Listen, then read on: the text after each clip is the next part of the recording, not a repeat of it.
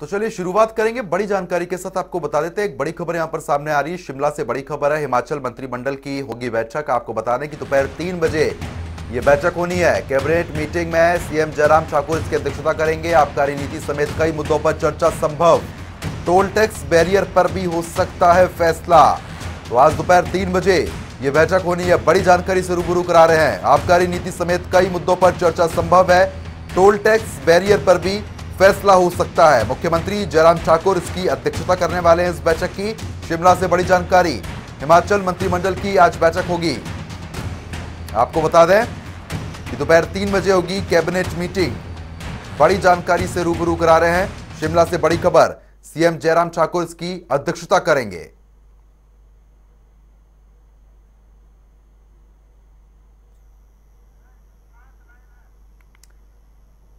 इस खबर पर हमारे ब्यूरो चीफ विकास शर्मा हमारे साथ लाइव जुड़ गए हैं। विकास जी, जिस तरीके से दोपहर तीन बजे कैबिनेट की मीटिंग भी होनी है, कई मुद्दों पर लगातार चर्चा की जाएगी। क्या कुछ अभी ज़्यादा जानकारी मिल पा रही है?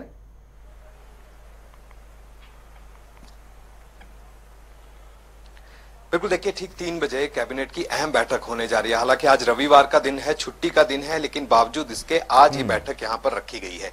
इसके पीछे वजह ये बताई जा रही है क्योंकि अब 31 मार्च जो है वो नज़दीक आ रहा है और ऐसे में 31 मार्च को जो हिमाचल प्रदेश में नई आबकारी नीति है उसको लेकर चर्चा जो है वो ज़रूर होगी।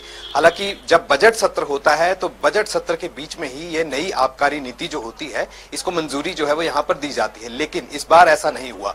बजट सत्र में कोई ऐसी चर्चा नहीं हुई। हालाँकि कैबिनेट की बैठकें जो है वो ज़रूर हुई, लेकिन नई आबकारी नीति को लेकर कोई चर्चा जो है, वो अभी तक राज्य सरकार के अंदर नहीं हो पाई। ऐसे में कैबिनेट की बैठक बुलाई गई है। हालाँकि आपको एक जानकारी में और दूँ कि आज शाम को सात बजे बीजेपी विधायक दल की बैठक जो है वो बुलाई गई है। होटल पीटर हॉफ में सात बजे बैठक होगी और इसके पीछे आज जो कैबिनेट की बैठक बुलाई गई है उसके पीछे तर्क यही दिया गया कि आज जैसे आ, कल जो है राज्यसभा का जो नामांकन है वो यहाँ पर भरा जाना है। तो उसके लिए आज जो ये विधायक दल की बैठक है, वो होनी है और सभी विधायक यहाँ पर मौजूद रहेंगे, सभी मंत्री यहाँ पर मौजूद रहेंगे और इसी बीच ये निर्णय लिया गया राज्य सरकार की तरफ़ से कि हिमाचल प्रदेश मंत्रिमंडल की बैठक बुलाई जाए और जो मसले हैं, जो कि छूट गए थे, वो मसलों को आज जो है वो मंत्रिमंडल की बैठक में चर्चा के लिए लाया जाए। तो आज कई तरह के प्रस्ताव हैं, जिनको लेकर अलग अलग विभागों के जो प्रस्ताव हैं, उन पर चर्चा आज निश्चित रूप से यहाँ पर होगी। आबकारी नीति, जो नई आबकारी नीति है, उसको लेकर यहाँ पर चर्चा की जानी है। इकतीस मार्च, क्योंकि आखिरी डेट ये होती है और इस आखिरी डेट में किस तरह से चीज़ें रहती है, क्योंकि जो आबकारी नीति रहती है, जिस तरह से हम बात करते हैं एक्साइज एंड टैक्सेशन की जो रूलिंग हम्म। होती है उसके हिसाब से 31 मार्च को नए ठेकों को दिया जाता है। नीलामी जो है वो यहाँ पर होती है। क्योंकि कोविड काल चल रहा था कोविड काल में कई तरह की चीज़ें जो। है वो निकल कर सामने आई और नए एक्सपेरिमेंट जो है वो राज्य सरकार को भी करने पड़े। देश भर में इसी तरह से रहा और हिमाचल प्रदेश ने भी ये निर्णय लिया कि नए सिरे से नीलामी ना करके हम नवीनीकरण का रास्ता निपटाएँ और पाँच से दस प्रतिशत की जो वृद्धि करके इन्हीं जो लोग हैं जिनको पहले ठेके जो यहाँ पर दिए गए थे, इन्हीं लोगों को ये ठेके दिए जाए, लेकिन नवीनीकरण के साथ। और ऐसे में क्या आज इस मामले को लेकर चर्चा होगी? क्योंकि तीन मुख्य रूप से एजेंडा आइटम्स जो है, जो हमें अभी जानकारी मिल पाई है, वो है। एक नई आबकारी नीति को लेकर मंजूरी है और उसको लेकर चर्चा आज निश्चित रूप से होगी। चर्चा पे अगर सहमति बनती है तो आज मंजूरी मिलेगी। इसके अलावा टोल टैक्स टोल टैक्स के ज़रिए अच्छा खासा रेवेन्यू जो है वो राज्य सरकार को यहाँ पर आता है। ये बताया जा रहा है करीब 1800 करोड़ का पहले जो टारगेट जो लक्ष्य रखा गया था, वो यहाँ पर टोल टैक्स के ज़रिए जो है वो यहाँ पर आता था। लेकिन अब इसे यहाँ पर बढ़ाया जा सकता है।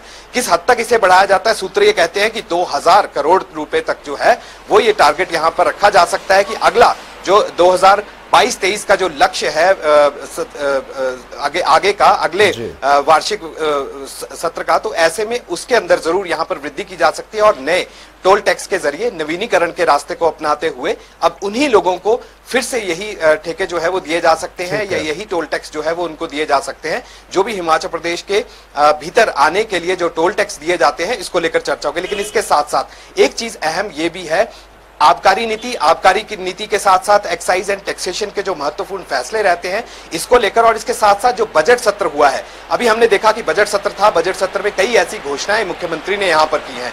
आज उनको लेकर यहाँ पर चर्चा हो सकती है और ये माना जा रहा है कि उन जो नई घोषणाएँ की गई हैं उनमें से कुछ ना कुछ जो है वो आज लागू किया जा सकता है। मंजूरी जो है वो यहाँ पर ज़रूर इस बाबत की जा सकती है।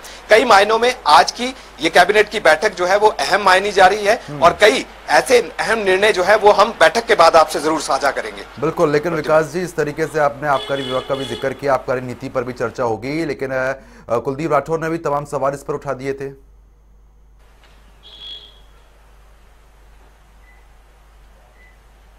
निश्चित रूप से देखिए कुलदीप राठौर का भी यही कहना था कि नई आबकारी नीति को क्यों आखिरकार राज्य सरकार यहाँ पर लागू नहीं कर रही है बड़ा सवाल उन्होंने उठाया था। और अब क्योंकि ये तो पहले से ही प्रस्तावित था कि यहाँ पर ये बैठक जो है वो मंत्रिमंडल की होनी है कई दिनों से चर्चा लगातार इस बाबत हो रही थी। लेकिन इसके साथ साथ जहरीली शराब का जो मामला था जो बड़ा कांड था जिसमें कई लोग जो हैं अपनी जान से हाथ धो यहाँ पर बैठे थे और ऐसे में अब अगर नई आबकारी नीति आती है और शराब के ठेकों को अगर मंजूरी दी जाती है क्योंकि इकतीस मार्च जो है उसकी आखिरी दिनांक जो यहाँ पर होती है। ऐसे में अब क्या नया रास्ता अपनाया जा सकता है? किस तरह से जहरीली शराब के इस गंदे कारोबार को किस तरह से रोका जा सकता है? इसको लेकर अब मास्टर प्लान यहाँ पर बनाया गया है। एक्साइज एंड टैक्सेशन जो डिपार्टमेंट है, कर एवं कराधान जो विभाग है, उसने एक बड़ा अच्छा प्लान जो है वो यहाँ पर राज्य सरकार के लिए बनाया है प्रस्ताव जो है वो रखा गया है कि अब शराब की बोतल के ऊपर ही एक होलोग्राम बनाया जाएगा। उस होलोग्राम की स्कैनिंग और स्क्रीनिंग के ज़रिए अब ये पता लगा जा पाएगा कि कितना स्टॉक जो है वो आया है, कितना स्टॉक जो है वो राज्य में आया है। इसके साथ साथ एक ऐप जो है उसका निर्माण यहाँ पर किया जाएगा। बताया ये जा रहा है कि अगर ये ऐप बनता है तो जितनी भी बोतलें जितनी भी शराब जो है वो लाई जाएगी। उसके अंदर पूरी तरह से खाका उसका तैयार किया गया हालाँकि अभी पूरी जानकारी जो है अगर इस पर मंजूरी मिलती है अगर इस पर बैठक में अगर चर्चा होती है तो ज़रूर इस मसले को भी हल करने की कोशिश की जाएगी कि किस तरह से अवैध शराब के कारोबार को जो है जहरीली शराब के कारोबार को जो है वो किस तरह से कम किया जा सकता है। इस पर नज़र रहेगी।